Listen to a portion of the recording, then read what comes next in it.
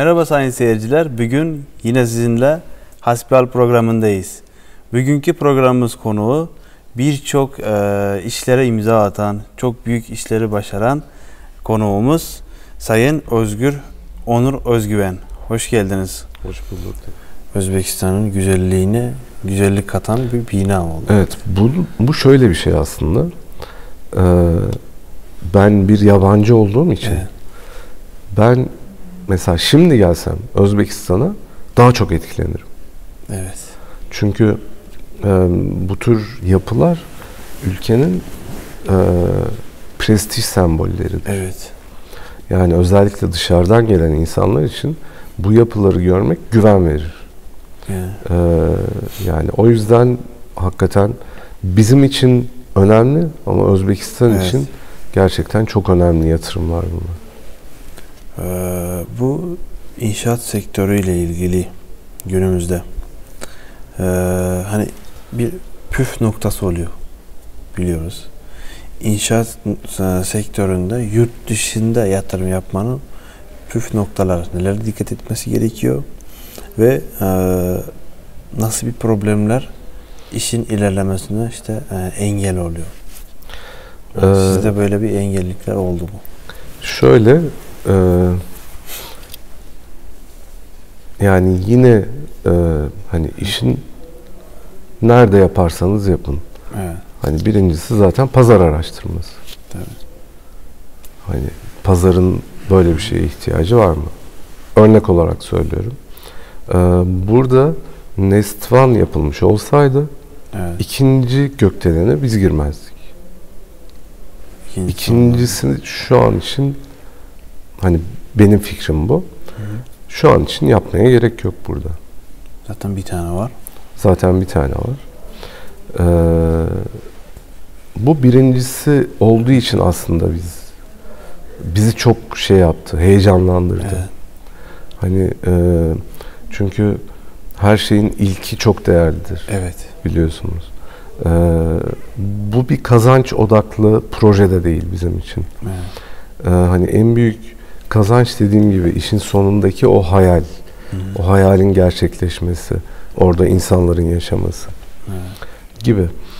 Ee, sorun yeni gelenler için şu oluyor. Bu herkes için geçerli. Bütün e, dünyadan gelen insanlar için, Evet. farklı ülkelerden. Şimdi İngiltere'den gelen İngiltere'deki konforu arıyor. Evet. Türkiye'den gelen Türkiye'deki konforu arıyor. Benim Almanya'dan gelen Almanya'daki konforu. Yani bu mevzuat anlamında. Evet. Ama öyle bir şey yok. Burası Özbekistan. Buranın kendine özgü kuralları var. Evet. Değişmesi gerekenler, yenilenmesi gereken kurallar var. Evet. Bir de olmazsa olmaz kuralları var. Ee, biz ne yapmamız gerekiyor?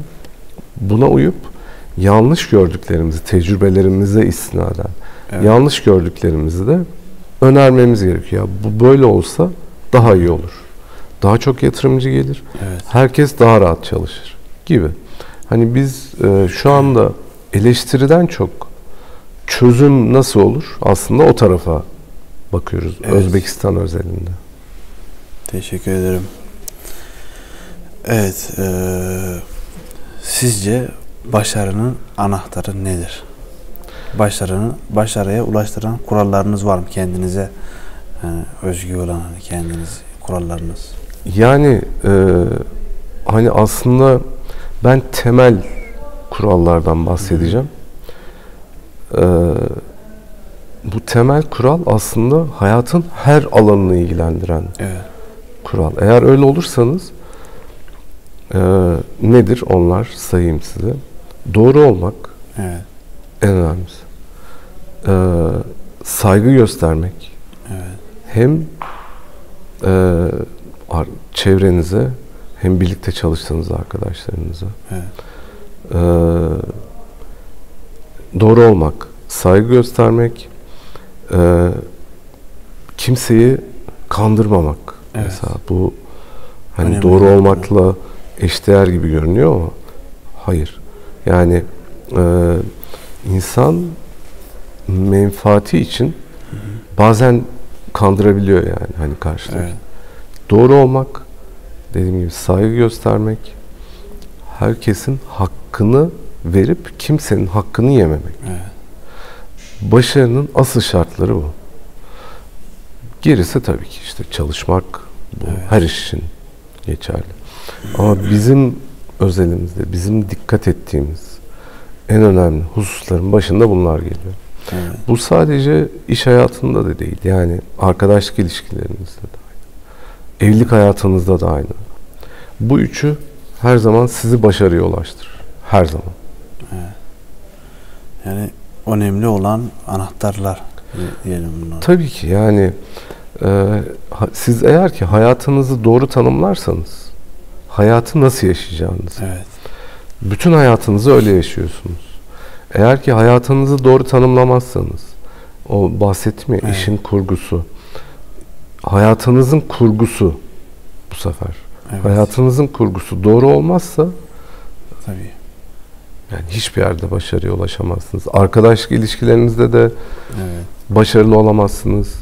Evlilik hayatınızda da, iş hayatınızda da Evet. hiçbir alanda başarılı olamazsınız. Teşekkür ederim.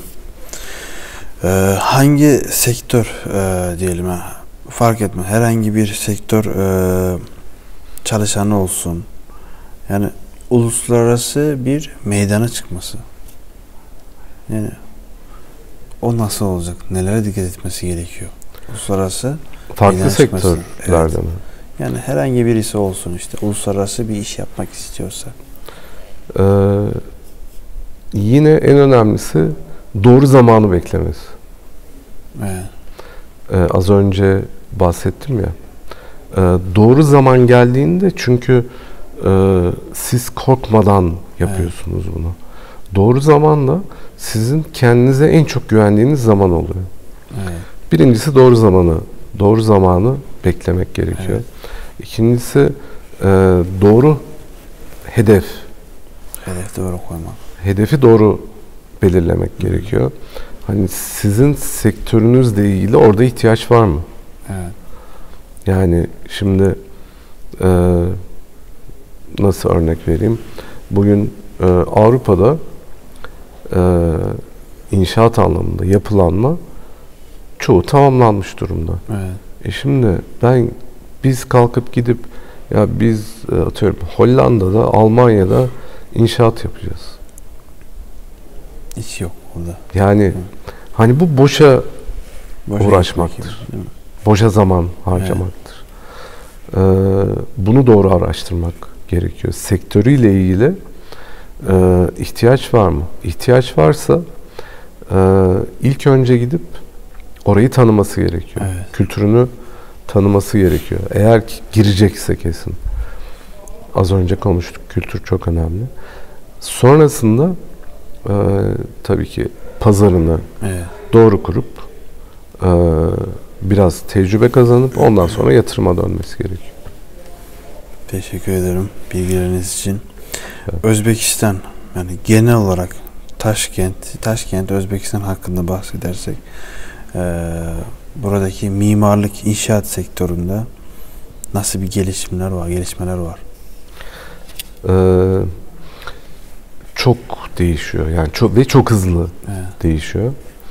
E, güzel şehir aslında daha da güzelleşiyor. Farklı eski e, yapıların neredeyse tamamı aynı. evet. Yani Aynı şekilde binalar yapılmış. Evet, aynı şekilde binalar aynısı. yapılmış.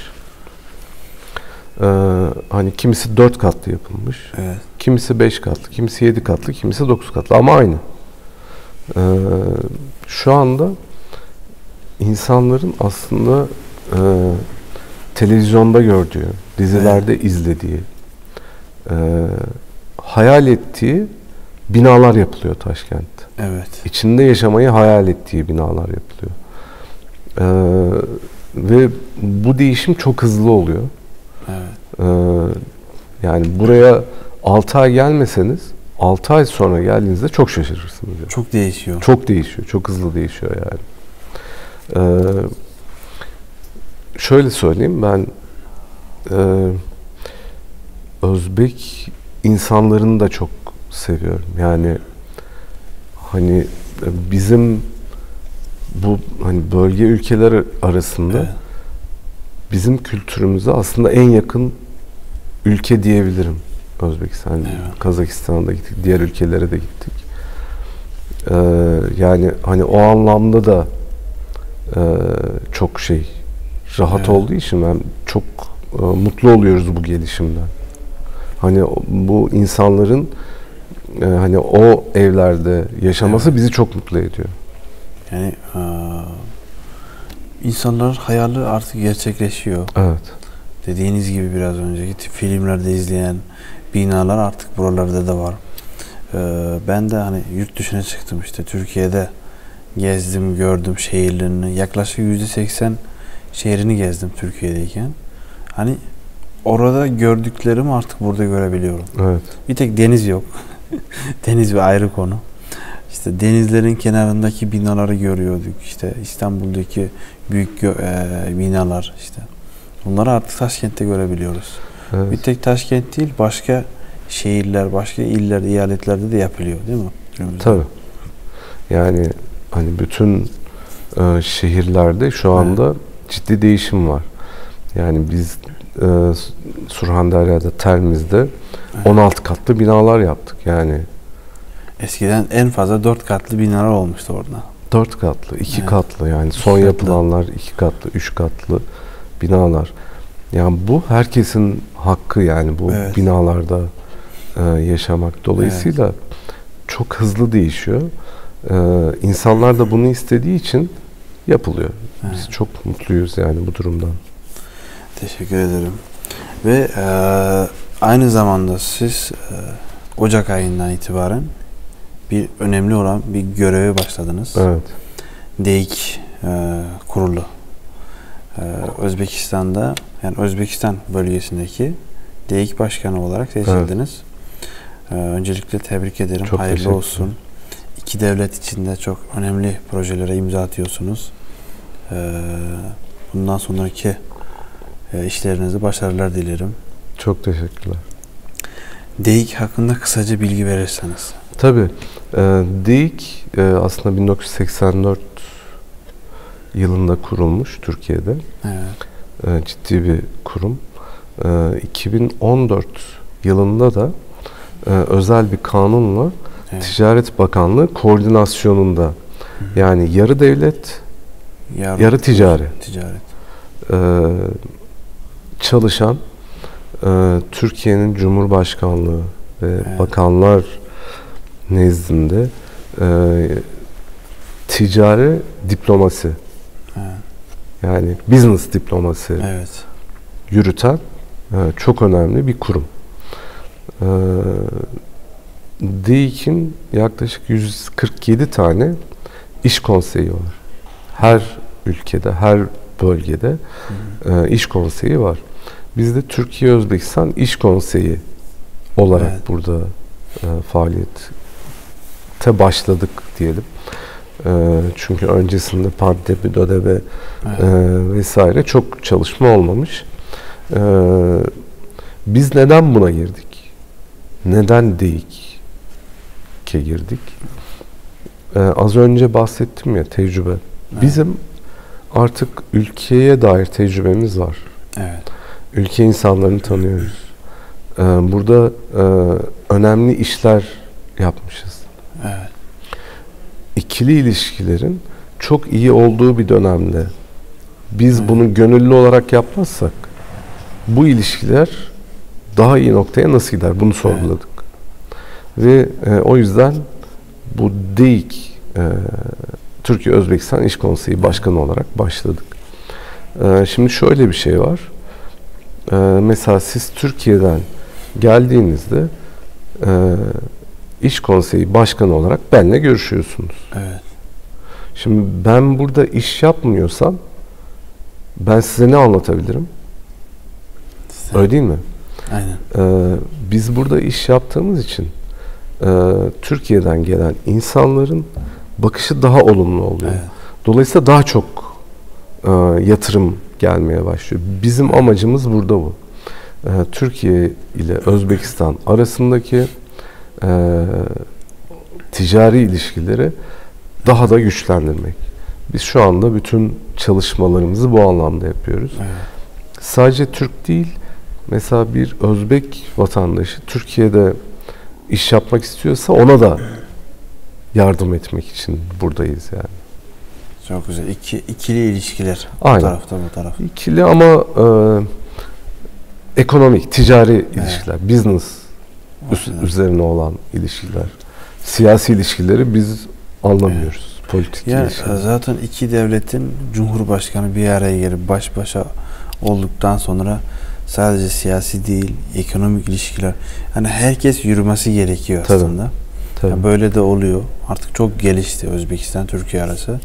İnşallah böyle devamlı olsun. İnşallah, İki ülkenin inşallah. arası. Ee, yani iki ülke Cumhurbaşkanı bir araya gelip anlaşmaları imzaladıktan sonra çok şeyler değişti. Artık vizeler kaldırıldı mesela. Evet. Türkiye için yani Özbekistan için zaten eskiden de yoktu. Ama Türkiye için de yani vizenin kaldırılması çok önemli bir e, gelişim oldu. Turizm açısından da. Doğru. Yani 2018 e, yılından sonra çok arttı Evet. yani. Hani hem Türk mesela 2001 yılında e, Özbekistan genelinde yabancı sermayeli Evet. şirketler arasında en çok kurulan Türk firması. Türk şirketleri. Türk yani şirketleri. Yani e, şu Gibi. da e, 2000'i aştı değil mi? 2000'i aştı. 2000'i aştı şirketler Özbekistan'da. Bu 2000'den e, fazla. çok sevindirici bu aslında. Yani Türkiye içinde çünkü Türkiye'de burayı atı yurtumuz diyorlar. Tabii. Yani biz de öyle. Hani kültür açısından da başka bir problem çekmez. Hani e, buraya geldikten sonra kendisini yabancı çekmez. Yani her bölge birbirine benzeyen bölgeleri var. Evet. Türkiye'deki işte e, hani Anadolu tarafındaki bazı e, eyaletler buraya benziyor. Kültür açısından hani gelenekleri, göreneklere göre. Türkiye'nin e, doğusu buraya çok yakın. Evet. Türkiye'nin doğusu özellikle Yani yemek tadından bahsedersek de Evet. çok hani benziyor benziyor. buraya. Çok benzerlik var. Ee, yani dediğim gibi hani e, biz hep söylüyoruz bunu. Ama hani bazı şeyler çok söylenince Evet. değerini yitiriyor. Mesela ata yurdu diyorsun ama bunu kalpten hissetmezsen evet. hani sadece sözde kalan Olmaz. e, hiçbir sözün hiçbir değeri yoktur yani. Kalpten hissedip e, ona göre e, bakarsanız zaten evet. öyle yürür. Teşekkür ederim. Ee, çok güzel bilgilere sahip olduk biz Ee, ve izleyicilerimiz için de çok güzel bilgiler, Ben çok motive ederim. edecek olan e, yani e, bilgileri verdiniz.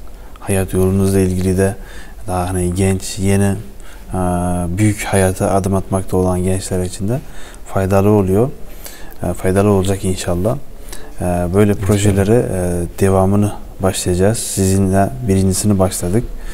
Hasbihal programımız aslında e, başka bir yoluna çıkmıştık.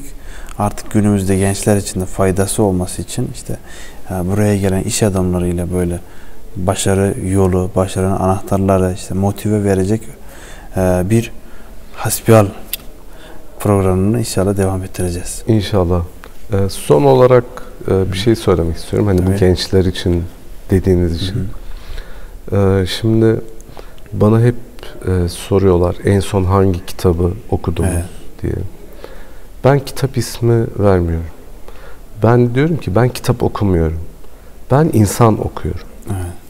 İnsan okumak ne demek? Sizle sohbet ettiğimizde sizden bir şey öğreniyorum ben, alıyorum. O aldığımın hani büyüklüğü, küçük, küçüklüğü önemli değil.